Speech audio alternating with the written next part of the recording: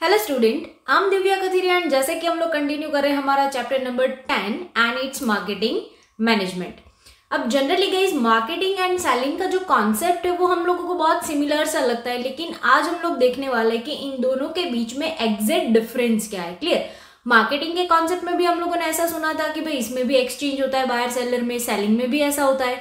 तो आइए हम लोग फ़र्स्ट पॉइंट देखते हैं मीनिंग कि एग्जैक्ट मार्केटिंग क्या है एंड एग्जैक्ट सेलिंग क्या है क्लियर तो फ़र्स्ट वन हमारा मीनिंग है marketing is an identification of the needs of the consumer with profit and consumer satisfaction यानी कि हम लोगों ने देखा था कि मार्केटिंग प्रोसेस का जो फ़र्स्ट वन पॉइंट था, उसका जो फ़र्स्ट वन फ़ंक्शन था, वो क्या था? मार्केट का रिसर्च करना।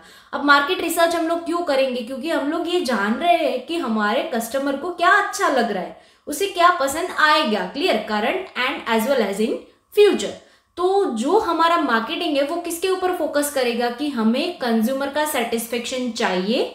तो उसके लिए हम लोग क्या करेंगे? उसकी नीड पे फोकस करेंगे, उसकी नीड जानना ज़रूरी हम समझेंगे और साथ ही में हम लोग उसमें से प्रॉफिट भी अर्न करना चाहेंगे। यानी कि प्रॉफिट भी चाहिए, साथ में कंज्यूमर का सेटिस्फेक्शन भी चाहिए। क्लियर और सेलिंग में क्या होता है? तो कि एक्सचेंज ऑफ़ गुड्स और services for the money is known as selling यानी कि सेलिंग में कहीं पे भी ऐसा कंज्यूमर का ज़िक्र नहीं हुआ है कि उसका सेटिस्फेक्शन इंपॉर्टेंट है, नहीं है। हमें सिर्फ़ गुड्स का और सर्विस का एक्सचेंज करना है बिहाफ ऑफ़ मनी और उसको पसंद आए, ना आए उससे हमें कोई लेना देना नहीं है क्लियर यानी कि सेलिंग पे सिर्फ़ मनी पे फोकस किया जाएगा मार्केटिंग में profit as well as consumer का जो सेटिस्फेक्शन है, उन दोनों पे फोकस किया जाएगा क्लियर सेकेंड है scope area of a work is very wide of course marketing में हम लोग दोनों चीज़ें ध्यान में रख रहे हैं, हमारे कंज्यूमर को और हमारा प्रॉफिट को भी क्लियर तो यहाँ पे जो हमारा वर्किंग का एरिया है, वो बहुत ही वाइड होगा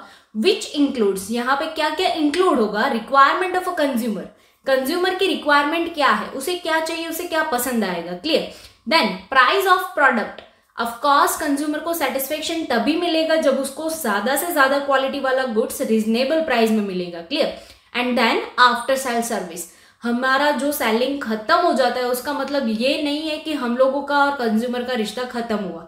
उसके बाद भी हम लोगों ने देखा था फ़ंक्शन ऑफ़ मार्केटिंग में लास्ट वाला पॉइंट हमारा कौन सा था? फिफ्टीन नंबर का आफ्टर सेल सर्विस तो उसमें बहुत सारी ऐसी चीज़ें होती है रिपेयरिंग एंड ऑल दैट तो उसके लिए भी हमें कंज्यूमर पर फोकस करना पड़ेगा क्लियर देन आफ्टर सेलिंग में क्या है? तो कि एरिया इज़ वेरी लिमिटेड यानी कि यहाँ पे वर्किंग का जो एरिया है वो बहुत ही लिमिटेड है, क्योंकि हम सिर्फ़ मनी पे फोकस करेंगे which includes the transfer of ownership of products from the seller to consumer यानी कि हम लोग यहाँ पे सिर्फ़ क्या फोकस करेंगे? हमें हमारा गुड्स एक्सचेंज करना है, यानी कि ऑनरशिप ट्रांसफ़र करना है, उसके बदले में हम लोग पैसे लेंगे, और यहाँ पे बात क्या हो जाएगी? खत्म हो जाएगी क्लियर फिर then after a objective objective क्या रहेगा उसका? तो कि earning profit with consumer satisfaction marketing में हमें कंज्यूमर का सेटिस्फेक्शन भी चाहिए, साथ में हमें प्रॉफिट भी चाहिए। तो यहाँ पे दोनों हमारे ऑब्जेक्टिव रहेंगे profit as well as satisfaction और यहाँ पे हम लोगों का जो सेलिंग है, उसमें क्या रहेगा? तो कि अर्निंग प्रॉफिट बाय सेलिंग हमें सिर्फ़ प्रॉफिट पैसे से लेना देना है, बाकी कोई नहीं लेना देना है क्लियर फिर देन आफ्टर पार्टीज़ कौन कौन से लोग यहाँ पे इंक्लूड होंगे मार्केटिंग में? तो कि सप्लायर्स है मिडल मैन है डिस्ट्रीब्यूटर्स है एंड कंज्यूमर है।